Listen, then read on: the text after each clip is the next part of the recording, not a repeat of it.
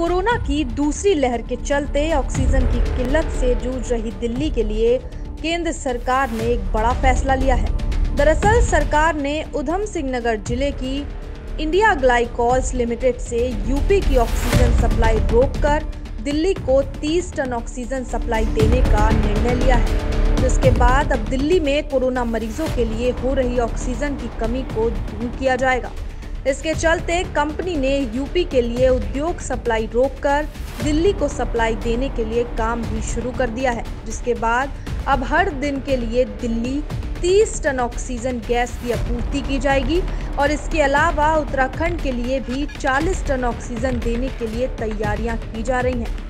वहीं आईजीएल के मधुप मिश्रा ने बताया कि उनके ऑक्सीजन प्लांट की उत्पादक क्षमता 60 टन की प्रतिदिन है और भारत सरकार की ओर से जारी किए गए आदेशों के बाद अब यूपी की सप्लाई रोककर दिल्ली और उत्तराखंड को हर रोज ऑक्सीजन भेजी जाएगी।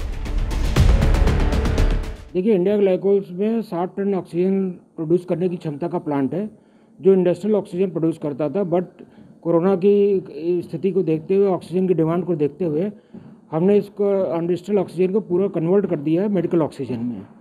उसमें हालाँकि कंपनी को काफ़ी नुकसान है बट इस समय हमें लोगों की जान को देखना है।